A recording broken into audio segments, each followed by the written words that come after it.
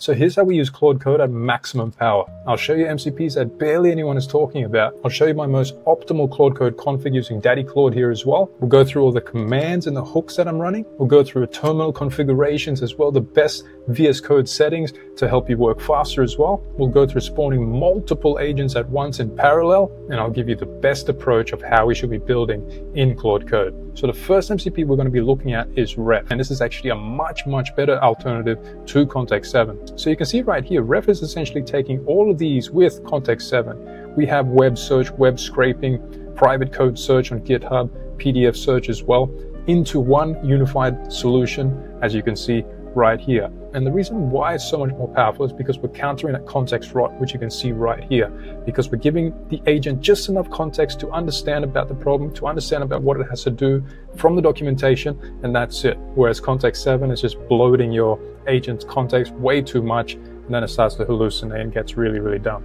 And another really nice MCP that I personally made is Can You Reflect? So I'll give you a little demo here. And you can see right here, the MCP is just triggered, and we're going through a reality check and it's asking itself, if this was ordered by someone who wanted to find flaws, what would they find? So this is really good for breaking Claude and ensuring that it's not always overly positive and allowing it to kind of slice through the middle, pattern interrupt it, and kind of disrupt its, you know, overly positive vibe.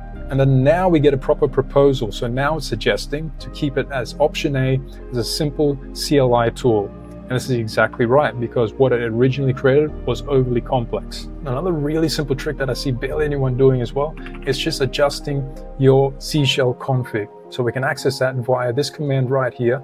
And then right here, you can see that I have the aliases set for Claude, for continue, and also for dangerously skip permissions as well.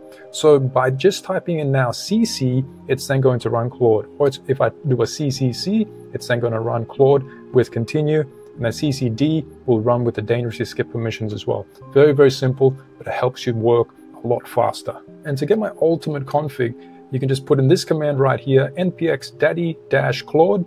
We just press enter. This is going to download everything from npm and just wait for the installation to go through. We're getting QLTY, which I use in the hooks. We're downloading all the MCPs that I have here as well. We're doing all the configuration files, which is your settings.json, your claude.md. We have 15 slash commands as well. And then we also have the hooks and scripts. And as for working in VS Code and Claude Code at the same time, this here, in my opinion, is the ultimate setup.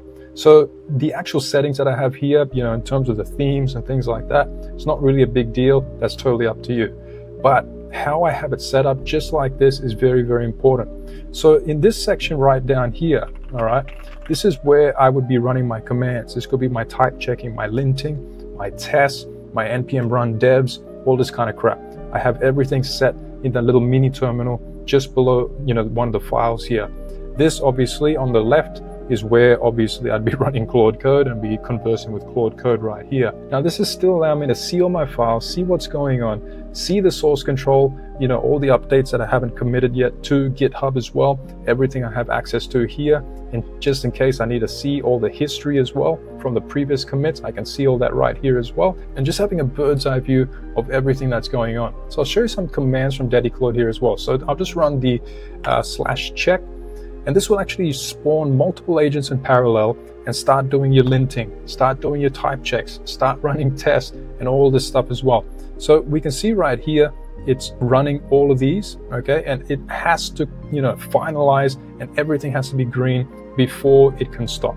Now, this is really important because we need everything to be in the green. We can't be just leaving errors there, you know, syntax errors, type checking errors, linting errors and all these other errors, right? We cannot be leaving them in our code base before we deploy, before we take these things to production. Now you can see we have three agents here running in parallel, one focusing on the linting, one focusing on fixing syntax errors, and one focusing on formatting the files with Prettier. And there are a range of different commands that I've added here, which are really, really useful. And a few weeks ago, Claude Code actually got an update to be using hooks. So this is really, really useful. And this is BAM shell. It's a shell script that I've made here, which is then going to be running QLTY commands. So you can see the commands right here as well. I have the QLTY FMT, which is going to be for the auto formatting.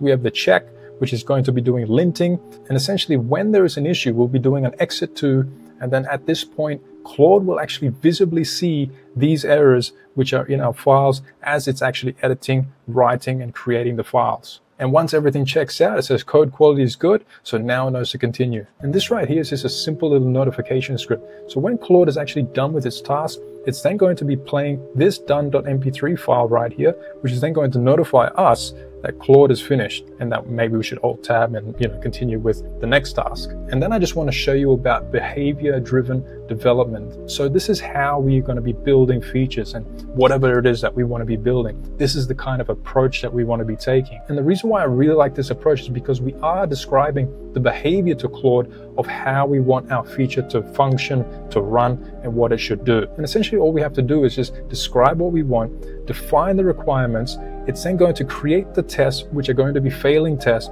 then refactor that code into the most simplest form until that actual feature and that function passes. And this prevents Claude from making really long, complex code when it could have just been something really, really simple, short, and a lot easier to manage. And I actually run a community on Skool as well. So if you're interested in getting into Claude Code, checking out some of the other stuff that I've made, and taking it a step further, feel free to check it out.